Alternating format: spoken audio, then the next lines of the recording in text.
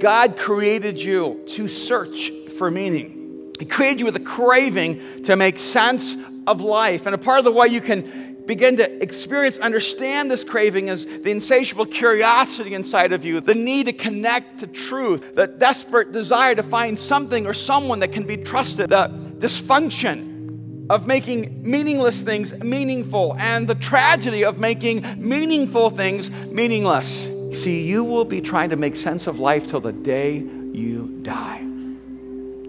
And if you don't connect the dots to the one who gives life meaning, you will be taking your last breath in fear. Because the dark side of meaning is a life filled with doubt, and a life filled with fear, and a life that's filled with anger and cynicism and despair.